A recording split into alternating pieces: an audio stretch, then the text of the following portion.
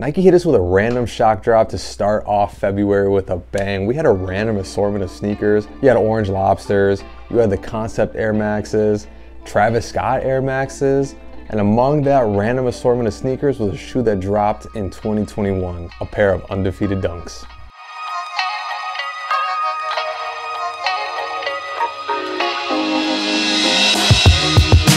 What's good y'all boys, Underdog, and I am back in the building. Today we're gonna be going over the undefeated five on it dunks. Now since this shoe dropped back in 2021, you've probably heard about it, you've probably seen reviews if you're thinking about picking them up. So this is gonna be a super quick, rapid, rapid fire review. Double rapid fire. Quick, highlighting the boxes, you can see you got Nike branding at the top here with a little bit of undefeated as well. This was part of their Dunk versus Air Force One pack. Size tag for y'all do what you gotta do. But your boy's gonna read it, of course. Of course your boy's gonna read it. Size tag reads Nike Dunk Low SP, Signal Blue, White, Night Purple. Size 11, your boy size. Undefeated Nike Dunks. Ooh, bing bang wow. Nike undefeated Dunks.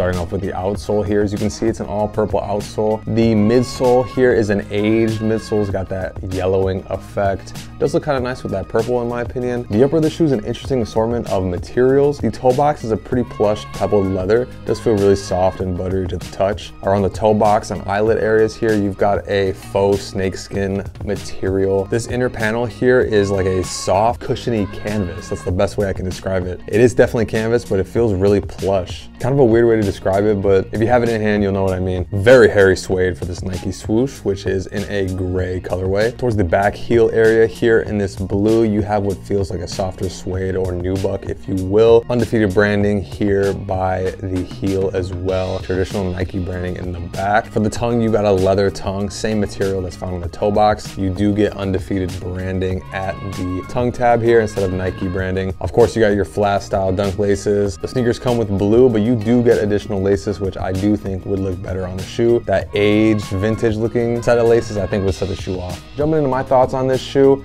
now, since it's been a minute since this shoe has been released, I was kind of surprised to see it on that restock. It just felt so random. I feel like nobody really asked for it, but hey, we got it. Luckily, your boy was able to hit, and I am surprised by the materials now, it's been a minute since I've even thought about this shoe. Now, I remember when they dropped and everything, but it just wasn't a shoe that was really on my radar. I'm not the biggest Dunk Low fan, so this is one shoe that I could definitely live without. Not the craziest fan of the colorway, it just seems kind of like a little too wild for me. Like, I'm not that confident in myself to be able to pull this off. Like, I'm not that stylish, you know? But hey, if you can pull this off, salutes to you. If you were like me and you hit on the shock drop and you wanted to flip these, you can get maybe 20, 40 bucks profit.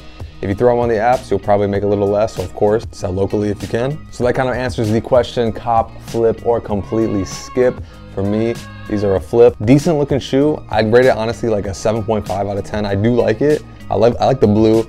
I like the aged midsole here. I like the purple too, just together it's it's just a little too out there for me personally, but I do like it. I can see these being pulled off and me really digging it. But like I said, these are a flip for me. Hey you, you watching this video right now.